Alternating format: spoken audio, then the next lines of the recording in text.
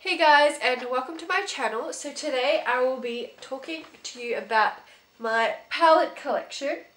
I have quite a few. So basically I will be telling you guys three things. Whether I like it or not, if I could go back in time would I buy it or not, and what was the last thing?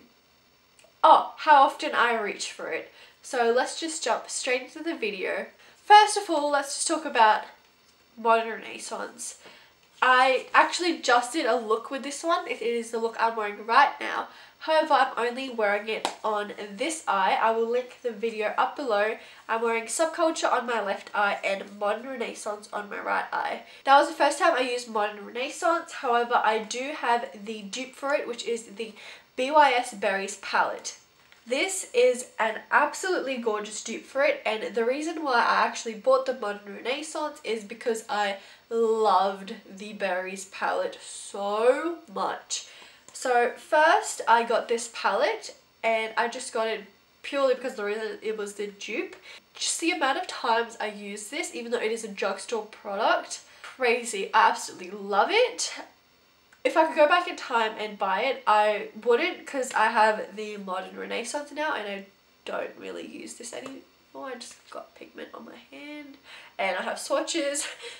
But yeah, I wouldn't buy it just purely because of that reason. But if I couldn't afford Modern Renaissance, 100% I would. I'll have to reach for it. Already said it all the time. With respect to Modern Renaissance, I can't actually say how often I reach for it because I haven't really used it that often. But since I use berries a lot every single day, I'm sure I'm going to be using this every day. I love the colours in it. I will be doing a comparison between the two if you guys want to see that. But anyways, it's gorgeous. If I could go back in time and buy it a thousand times over, you all know it. Let's just move on. But the more controversial one is Subculture. Now this palette is known to have a lot of fallout as you can see here, Roxy and everything. Some colours aren't as pigmented as expected, like Cube, which is the colour I'm wearing on my inner lid at the moment. A lot of people are not happy with this palette purely because there is so much fallout. There's just a lot of drama around this palette at the moment. But I've done two videos on it and I love it. I absolutely love it. I feel like the formula is same as the Modern Renaissance even though it does have a formula change. I talk about that in my video, in my review video. I will put a card up for that and I don't know, I love it. If I could go back in time and buy it, would I? Yes, I would. I feel like these colours are gorgeous. The colours that I don't normally have and once I've experimented with them, I feel like I could use them a lot more. They create really unique looks. Since I don't have the androgyny palette, I feel like this just completes the amount of colours that I have in my collection. Next, I will be going in with the Tarteist Pro palette. Um, it is the Amazonian clay palette and to be honest, I am not the biggest fan purely because the mattes, they just don't really work for me and honestly, I use this palette every single day. Do you know why? Because of the mirror. It's literally the only... Jesus Christ. This was actually my first high-end palette and the only reason I got it is because of the colour, to be honest, the gold. I just loved the gold. Big mistake. If I sound funny, it's because my nose is blocked and I'm super sick. Whatever. But yeah, the only colours that I do often use is Mod and Whimsy. I never use anything else. If I could go back, I definitely wouldn't buy this. I don't really like the palette. I only like these two colours and I never reach for it. Now my glow kit with Anastasia and Nicole Guerriero. This is in fact my only glow kit so I do reach for it every single day and I do love it. It's what I have on right now if you guys can see the glow. I have Glow Getter on at the moment. I don't know why I have to close my eyes for that. But anyways, I have Glow Getter on at the moment and in my brow bone I have Forever Lit.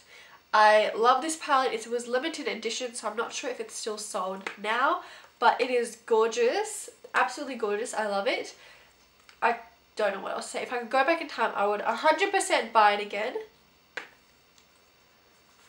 contour kit self-explanatory everybody knows it original contour kit works it's powdery I reach for it every time I contour nothing more to say about that I love it I would rebuy it Now Zoeva, the Pink Spectrum blush palette is like this. Um, I like it. It works for me. I feel like they are so pigmented. I literally only have to dab like the tiniest bit on and it's so pigmented. I literally do like one little tap. I don't know why I'm putting it on, but whatever. I love it. It's absolutely gorgeous. I would 100% rebuy it. My nose is getting so blocked. Oh my god. Do you guys ever like hate that when you're sick and you have makeup? And like you have makeup all over your nose, you can't blow it out. But then you have to, you have to reapply the makeup. Whatever. But anyways, I love the palette. It's so pigmented. I feel like I'm going to use this for like two years because it just it lasts that long. Honestly, it's gorgeous.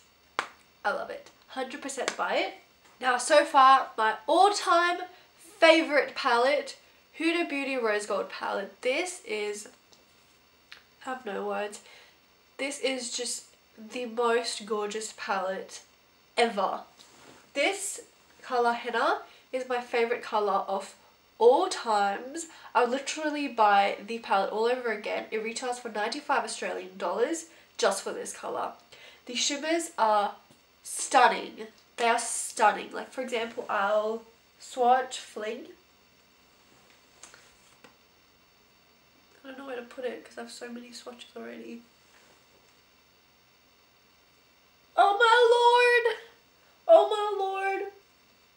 It's crazy. It's crazy. I use it every day. I love it. I'd buy it again. I just, oh, I love it so much. Now, new purchases, Jaclyn Hill palette. I, I've used this palette once. I love it. It worked really well for me. It was super pigmented. I still have the plastic in. You guys have all seen the palette. I did do a first impressions and review on it, but my skin looked disgusting in it. It was just, I don't know why, what happened to the lighting, but it just, it just, it was just so, gross. But anyways, I will be doing another look with this soon. I have exams in like 10 days. I don't know why I'm filming. I'm so stressed.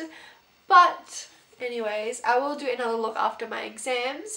My exams finish August 20th. I'm just pre-filming a bunch of videos for you guys. Um, and I'll show you more looks that you can do with it. I love this palette. So far what I've used, yes, I would buy it again just because of this, these four colours here. I feel like they're extremely unique. They're gorgeous. They're amazing to blend with. Again, it's a new palette. I can't really say how much I use it, but I feel like I would reach for it quite often. Now, I have two new Morphe palettes. Can't say whether I'd reach for it, whether I like it. I have never used it. I'll do a first impressions of these palettes. I'll create a look of it and I will just show you guys. The other look, the other Morphe palette I got, this, I can already say I would go back and buy it again if I run out because I need colours. I feel like this is gorgeous. As you can see, I've never even swatched it. I've had this palette for like a week or two weeks. I can't believe I haven't swatched it yet. Saving it for the video. yeah. Um, yeah. Uh, these colours are gorgeous. I'm sure the colour payoff is amazing, especially on my skin tone as well. Um, I feel like it'd be gorgeous. I would go back again. I don't think I'd reach for it as often simply because this is an extremely colourful palette and I'm not really the one to do crazy colourful looks every day. I don't even wear makeup every day only for videos and nights out.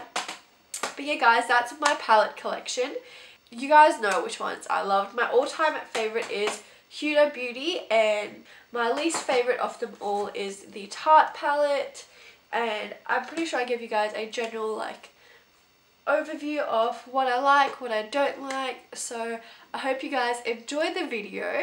Make sure to give it a big thumbs up please if you liked it and tell me if you like seeing these types of videos like palette collections and just quick reviews on the palettes. But yeah, all in all, thank you so much for watching. If you guys want to see how I created this look with different palettes, make sure to check my other video out. Um, and I think that's it. Thank you so much once again. And just click on my face to subscribe if you haven't. I'd love it. And just have a great day. See you later, guys. Mwah.